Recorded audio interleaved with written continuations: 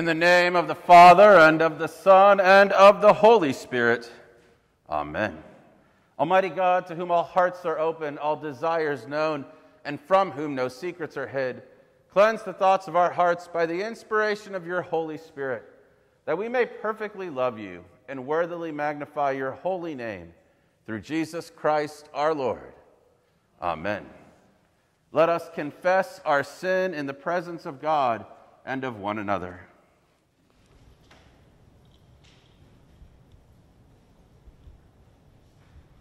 Most merciful God, we confess that we are captive to sin and cannot free ourselves.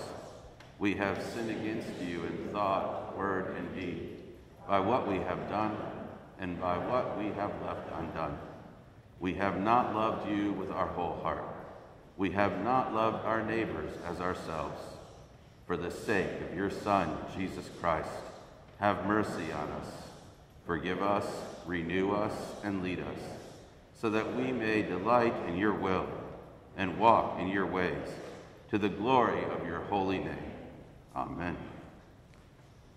In the mercy of Almighty God, Jesus Christ was given to die for us, and for his sake, God forgives us all our sins. As a called and ordained minister in the Church of Christ, and by his authority, I therefore declare unto you the entire forgiveness of all your sins, in the name of the Father, and of the Son, and of the Holy Spirit. Amen.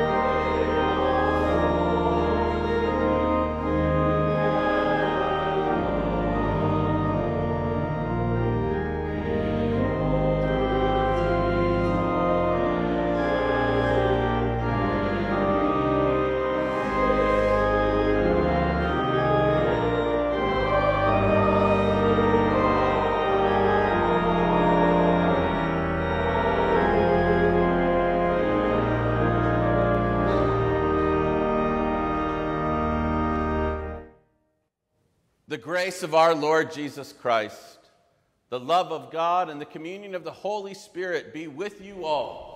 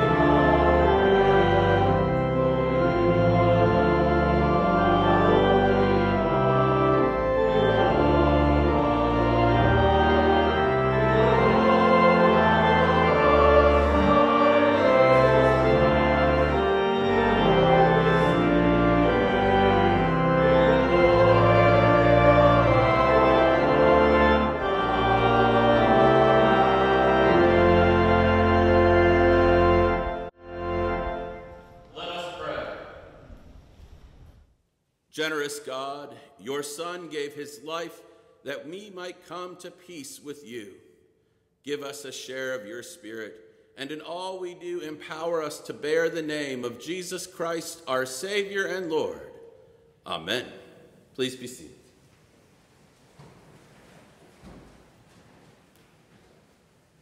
Welcome to Augsburg, and we give thanks for your presence here today. And if you're visiting with us, a special welcome to you.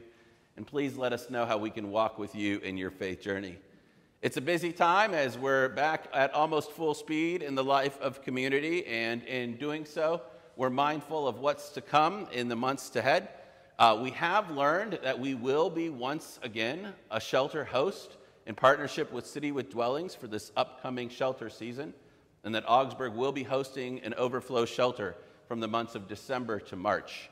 Uh, this has always been part of Augsburg's identity out in the community, an important part of who we are, as many of you volunteer and give your gifts of time and meals to share in that. So we'll have a first introductory meeting this Tuesday evening. That announcement is not in your bulletin, but Tuesday evening via Zoom, and we'll send out a Flocknote tomorrow getting you connected to all that. Pastor Katie looks forward to leading and working with you all in that and if you have any questions, you can reach out to her. Also, a reminder that we will remember the life of Rita Toivonen Wednesday evening at 6:30 in the Columbarium, and all are welcome for a brief service as we remember her and commend her life to God. In addition, there's a number of announcements in the bulletin that I draw your attention to today and share a word of thanksgiving on behalf of our partners at Christ Beloved Community for the wonderful gifts that you all shared in food this past Thursday at our community food drive. Our service continues now as we hear God's word.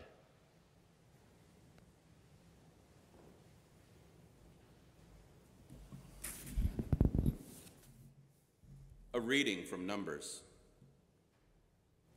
The rabble among them had a strong craving, and the Israelites also wept again and said, if only we had meat to eat. We remember the fish we used to eat in Egypt for nothing the cucumbers, the melons, the leeks, the onions, and the garlic.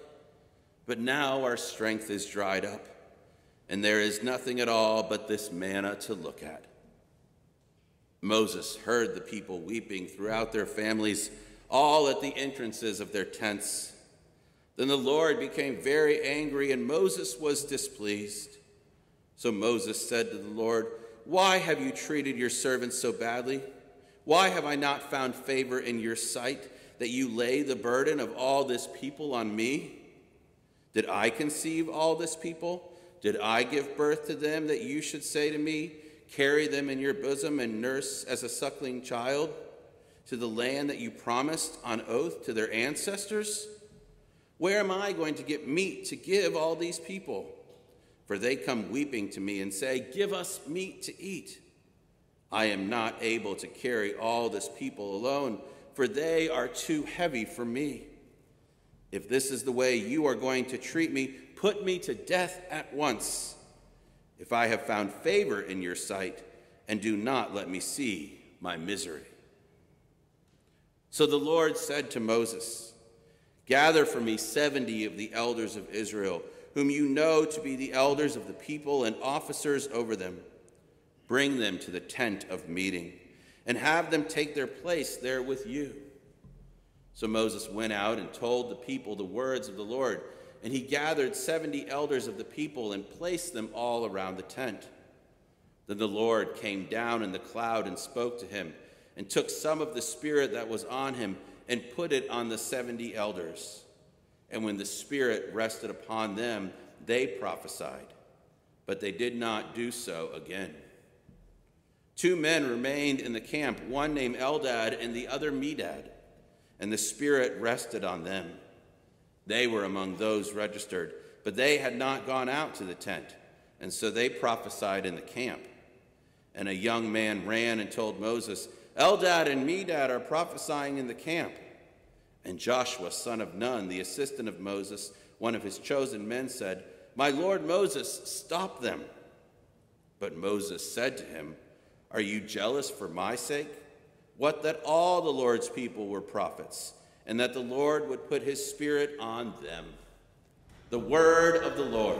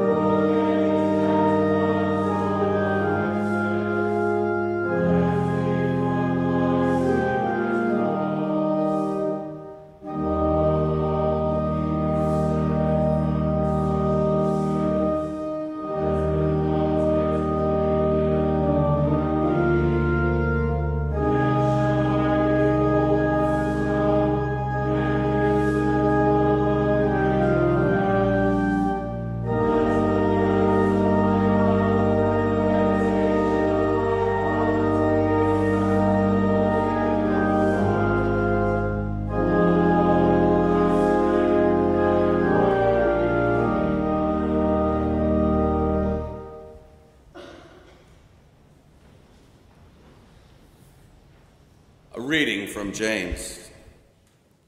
Are any among you suffering? They should pray. Are any cheerful? They should sing songs of praise. Are any among you sick? They should call for the elders of the church and have them pray over them, anointing them with oil in the name of the Lord. The prayer of faith will save the sick, and the Lord will raise them up, and anyone who has committed sins will be forgiven. Therefore, confess your sins to one another and pray for one another so that you may be healed. The prayer of the righteous is powerful and effective. Elijah was a human being like us, and he prayed fervently that it might not rain. And for three years and six months it did not rain on the earth. Then he prayed again and the heaven gave rain, and the earth yielded its harvest. My brothers and sisters, if any among you wanders from the truth and is brought back by another, you should know that whoever brings back a sinner from wandering will save the sinner's soul from death and will cover a multitude of sins. The word of the Lord.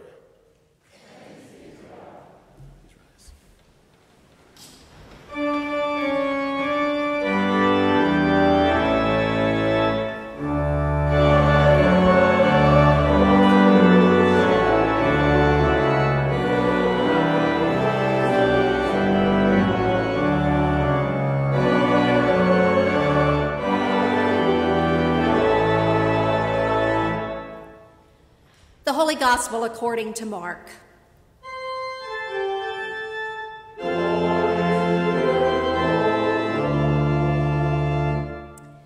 John said to Jesus, Teacher, we saw someone casting out demons in your name, and we tried to stop him because he was not following us.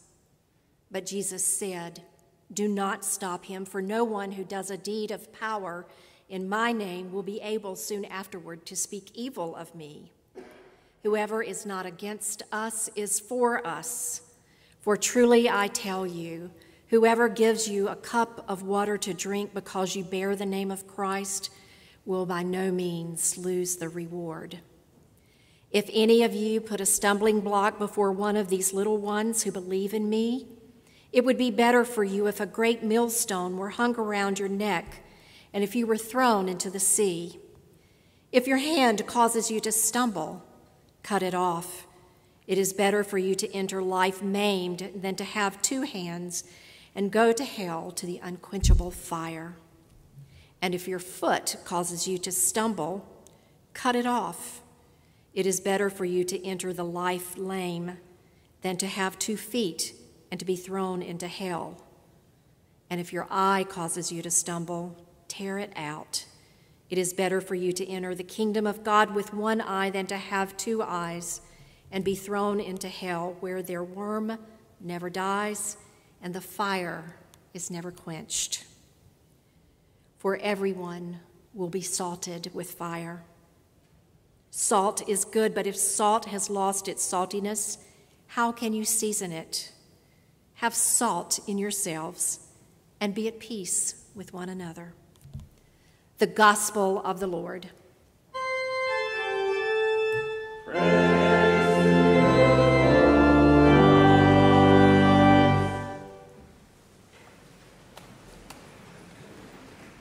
Grace and peace to you from God our Father and from our Lord and Savior Jesus Christ. We have all heard or used the phrase, don't judge a book by its cover. It is a metaphorical phrase that means that we should not judge the value or worth of something or of someone by their outward appearance. For we know that appearances can be deceiving and things aren't always as they seem. I wonder if you have ever judged a book by its title for example, The Lion, the Witch, and the Wardrobe is a story about a lion, a witch, and a wardrobe. But the book, Little Women, isn't actually about Little Women. Or the book To Kill a Mockingbird isn't an instructional book on how to hunt and kill mockingbirds. Using this same line of thinking, how many of us have judged the fourth book of the Bible, Numbers, by its title? There may be some here who have not read or even considered reading the book of Numbers because it might be similar to a math book or a book of statistics or, well, just numbers that will clutter our minds. The title of the book we know as Numbers was originally titled In the Wilderness in the Hebrew language. When the Hebrew Bible was translated into Greek and then English, its title was changed to Numbers because the first two chapters recount a census taken of the Israelites. To some, that may sound boring enough to decide to read something else, but they've missed out. The stories in this book are fascinating, action packed at times. Other times, readers are left with more questions than answers especially as it relates to the freedom of God's Spirit to shape and move a community. The book of Numbers describes the journey of the Israelites as they wandered in the wilderness, making their way toward the promised land of Canaan. The book of Numbers tells us of God's presence and provision for God's people while they wander. Sadly, the people cannot see it because their faulty memory has them weeping and longing for what they left behind in Egypt.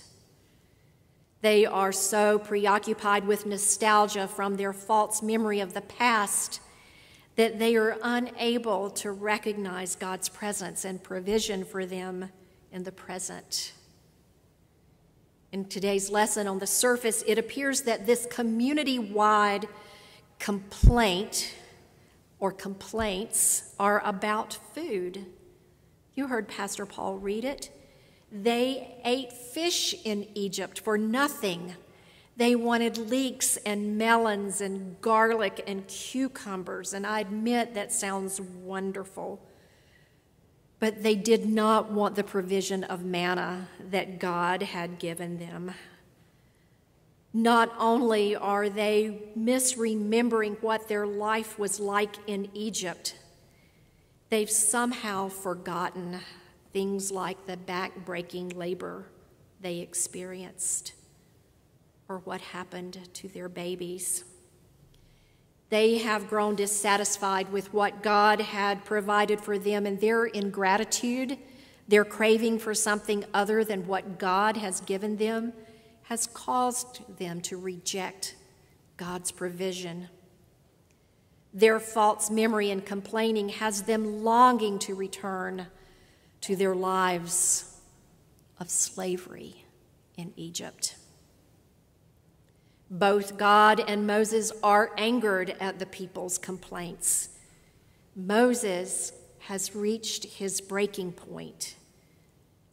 He was beyond weary from the people's constant complaining that continued to blind them from recognizing God's grace.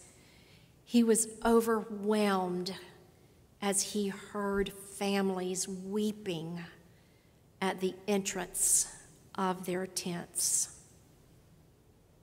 God saw and heard it all.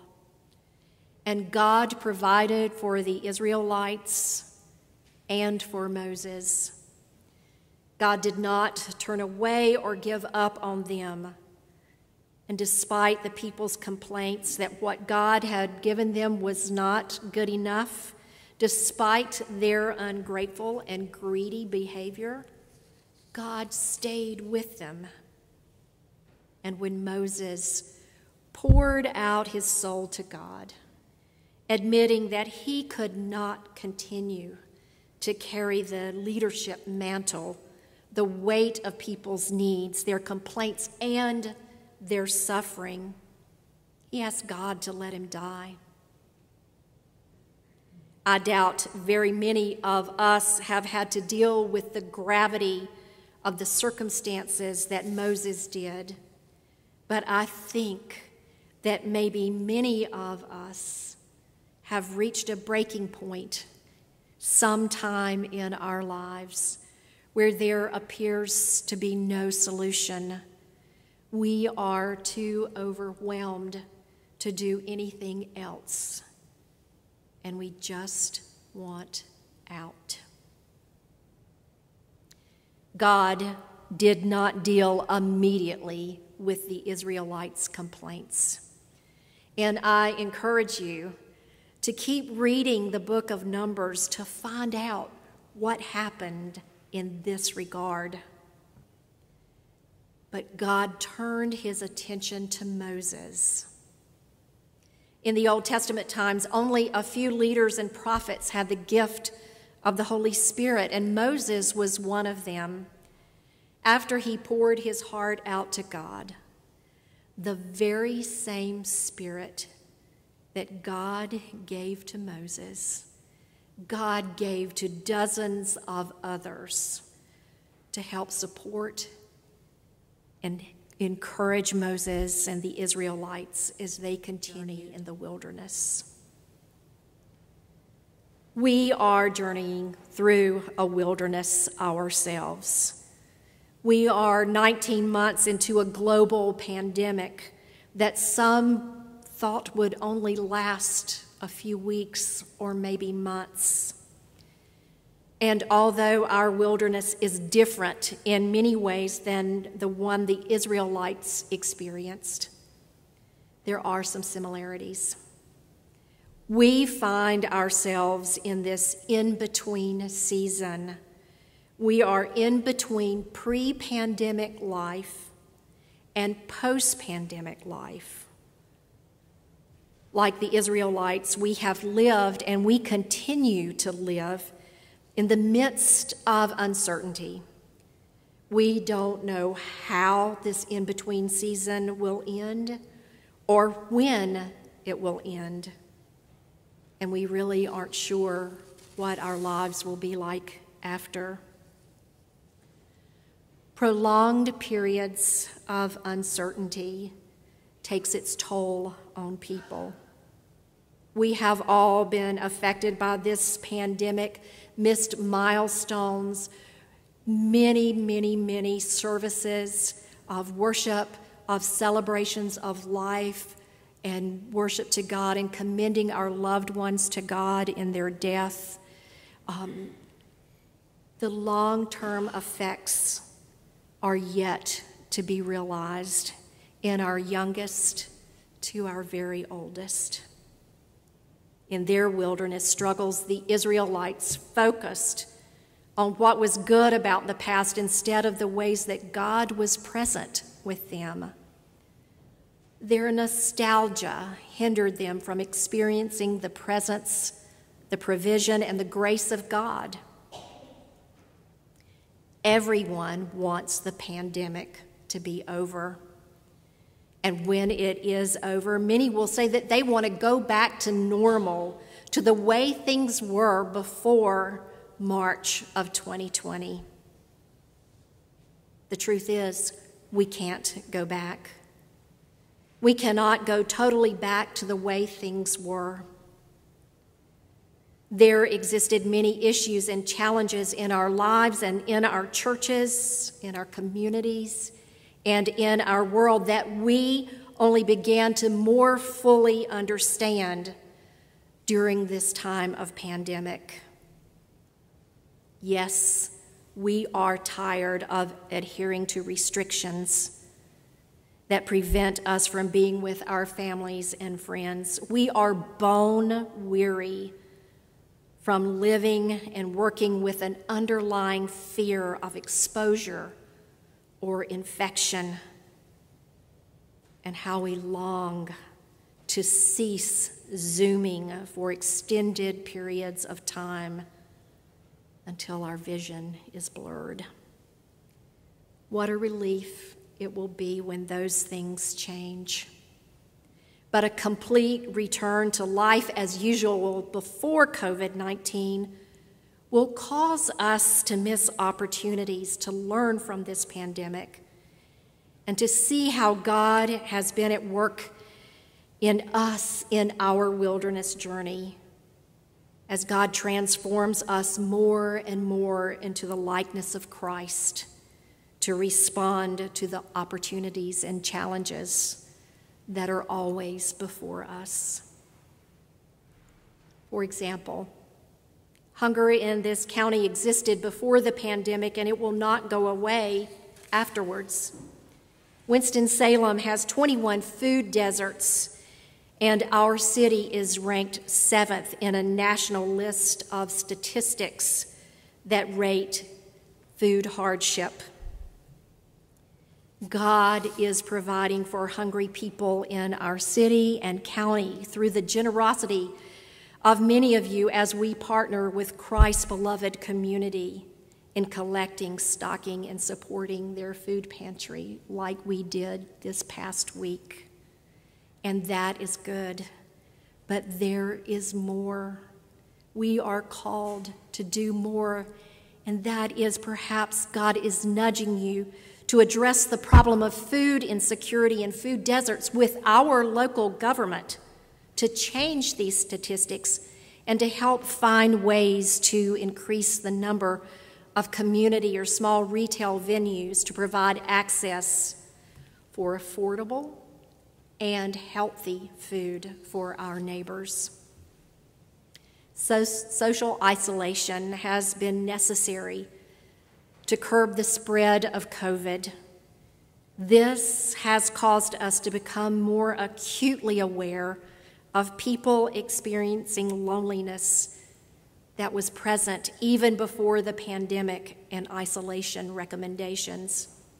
As a result, the Spirit has prompted our Keeping in Touch ministry to reimagine their ministry efforts moving forward, broadening their scope of contact with people and seeking your help in being a part of this.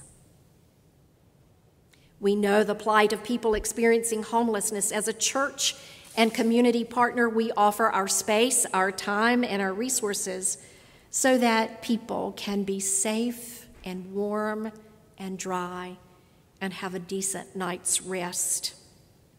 We now partner with Pastor Emily Norris with the dwelling, supporting, encouraging, and volunteering as we befriend the people of her faith community. This afternoon, we will be serving lunch at the dwelling, but more importantly, we will be sharing the love of God with them and they will be sharing the love of God with us.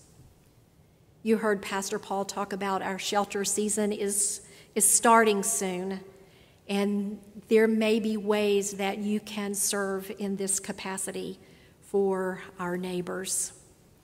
These are just three examples of many of how we can honor our past and look beyond ourselves and the perimeter of this church to embrace opportunities to be present, to provide, to care, and offer the love of God found in Christ in new and creative ways. I want to pause here for a moment to make sure I have your attention. In the midst of this wilderness, that we are all in together. For some of you, your life circumstances may be such that you may not be able to go to do or to serve God, the church, or your neighbors as you would like, or have not been able to do in the past, or are not able to do as you have done in the past. It may be because of work schedules or school schedules. It may be because you're caring for little ones in your home or adult loved ones. It could be a variety of reasons, but this message of hope is for you as well. God is with you. You are not alone. God knows your circumstances, and God knows your heart, and continues to work in your life, even if you can't see evidence of it. Others may see that they are more like the Israelites than what they would like to admit. There is a human tendency to want to hold on to the past, to maintain what is known and what is comfortable. Yet we know that God was with the Israelites as they floundered and wandered and complained. And God was at work in their lives, forming and transforming them. The same is true for us. Let us learn from the Israelites. In the waters of baptism, we are buried with Christ, dying to sin and rising with him to new life we are sealed with the Holy Spirit, and the Holy Spirit abides within all of us, and the Holy Spirit abides with us, journeying with us our whole life long, even in the wildernesses of life. But being both saint and sinner, we crave that which holds us back from the freedom of sin that God gives, and we often forget that God's presence and provision for us is our gift. And just like with the Israelites, God doesn't give up on us either. Despite our reluctance to imagine and engage in new life, despite our tendency to be self centered and desire comfort, God stays with us. God does not abandon us in our sinful ways. God invites us each week to the table to receive the forgiveness of sin as God feeds us and sustains us with the body and blood of Christ. As we continue in our own wilderness struggles. Let us recognize and give witness to the presence, the provision, and grace of God. Let us share how God is using our experiences to transform us more and more into the likeness of Christ. And out of deep gratitude for all that God offers and gives us, let us respond in living out our call to love the Lord with all our heart and our soul and our mind. And let us love our neighbors as ourselves in whatever way God calls. Amen.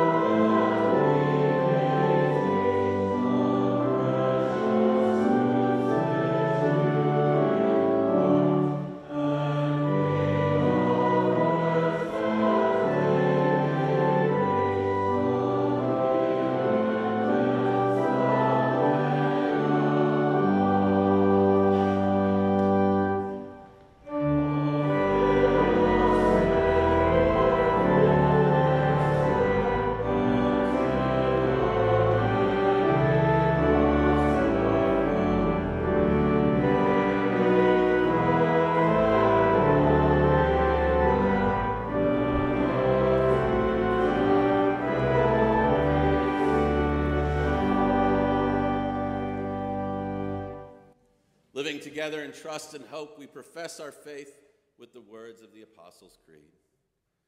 I believe in God the Father Almighty, creator of heaven and earth. I believe in Jesus Christ, God's only Son, our Lord, who was conceived by the Holy Spirit, born of the Virgin Mary, suffered under Pontius Pilate, was crucified, died, and was buried. He descended to the dead. On the third day he rose again. He ascended into heaven. He is seated at the right hand of the Father, and he will come to judge the living and the dead. I believe in the Holy Spirit, the holy Catholic Church, the communion of saints, the forgiveness of sins, the resurrection of the body, and the life everlasting. Amen. May children and heirs of God's promise, we pray for the church, the world, and all in need. We pray for the church and its ministry. Bless the newly baptized and encourage them in their journey of faith. Sustain all members of the body of Christ in lives of prayer, service, and worship. Lord, in your mercy, we pray for natural wonders of your creation.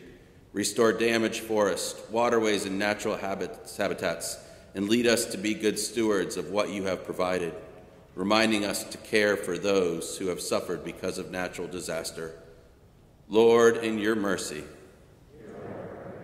we pray for those in authority. Give them wise minds and compassionate hearts. Strengthen them in a desire to protect the vulnerable and care for those underserved. Bring a sense of cooperation where partisanship gets in the way of your work. Lord, in your mercy, we pray for those who struggle each day with diseases known and diseases unknown. Provide them with peace and resilience for the days ahead. Sustain caregivers with energy and patience. Today we lift up Peg Keller, Marcia Smith, the Michael Robinson family, Jessica Holmes, Kathy Burton, Marion Apel, Jay Wise, Glenn Blackman, Eula May Hutchins, Mamie Cox, Bob Milner, Dan Moore, Hank Farrar, Gianpaolo Pasquinelli, Susan Sherwin, Robinson family, McLaurin family, Kathy Olson, and all those who we lift up on our lips and in our hearts. Lord, in your mercy, we pray for the worship leaders of this congregation, musicians, and those who work each week as ushers and greeters. Bless their ministry and grant them in their passion to continue in their service. Lord, in your mercy. We give you thanks for all your saints, those we have loved and known, and those from every time and place.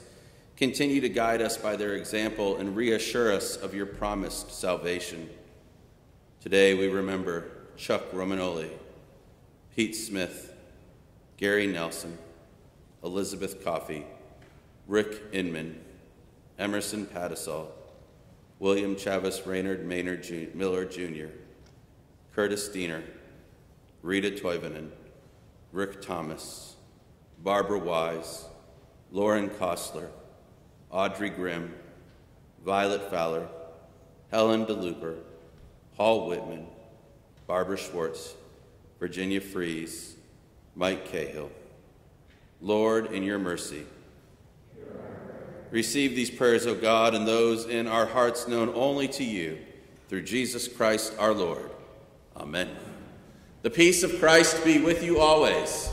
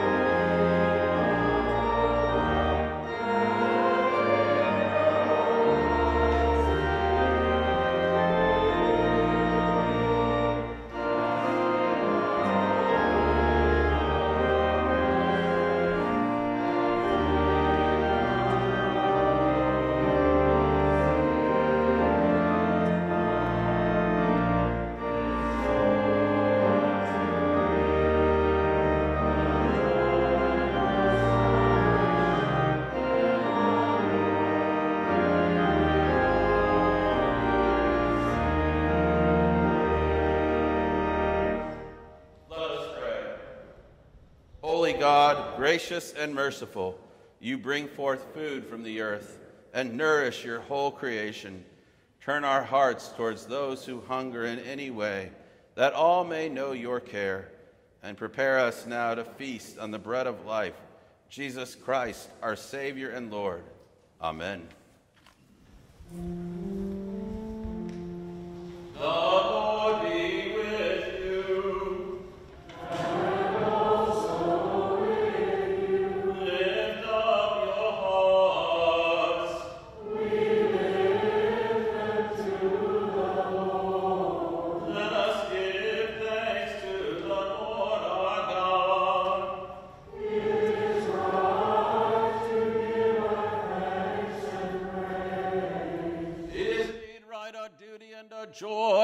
Should at all times and in all places give thanks and praise to you, Almighty and merciful God, through our Savior Jesus Christ, who on this day overcame death and the grave, and by his glorious resurrection opened to us the way of everlasting life.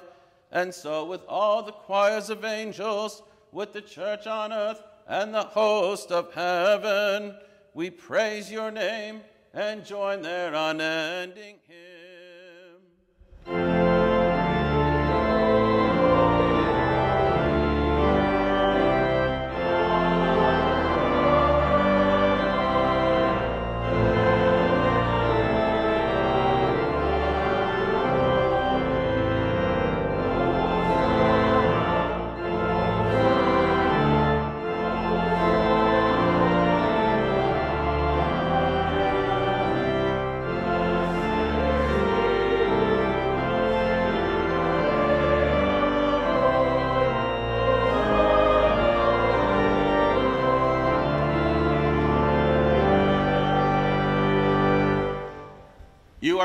Holy, almighty, and merciful God. You are most holy, and great is the majesty of your glory. You so loved the world that you gave your only Son, so that everyone who believes in him may not perish, but have eternal life. We give you thanks for his coming into the world to fulfill for us your holy will and to accomplish all things for our salvation. In the night in which he was betrayed, our Lord Jesus took bread and gave thanks broke it and gave it to his disciples, saying, Take and eat. This is my body given for you. Do this for the remembrance of me. Again, after supper, he took the cup and gave thanks and gave it for all the drink, saying, This cup is the new covenant in my blood, shed for you and for all people for the forgiveness of sin. Do this for the remembrance of me. For as often as we eat of this bread and drink from this cup, we proclaim the Lord's death until he comes. Christ has died, Christ is risen, Christ will come again. Remembering, therefore, his salutary command, his life giving passion and death, his glorious resurrection and ascension, and the promise of his coming again, we give thanks to you, O Lord God Almighty, not as we ought, but as we are able. We ask you to mercifully accept our prayers and thanksgiving, and with your word and Holy Spirit to bless us, your servants and these your own gifts of bread and wine, so that we all who share in the body and blood of Christ may be filled with heavenly blessing and grace, and receiving the forgiveness of sin may be formed to live as your holy people and be given our inheritance with all your saints. To you, O God, Father, Son, and Holy Spirit, be all honor and glory in your holy church now and forever. Amen. Lord, remember us in your kingdom and teach us to pray. Our Father, who art in heaven, hallowed be thy name. Thy kingdom come, thy will be done, on earth as it is in heaven. Give us this day our daily bread, and forgive us our trespasses, as we forgive those who trespass against us. And lead us not into temptation, but deliver us from evil. For thine is the kingdom, and the power, and the glory, forever and ever. Amen. When we eat this bread, we share in the body of Christ. When we drink this cup, we share in the blood of Christ.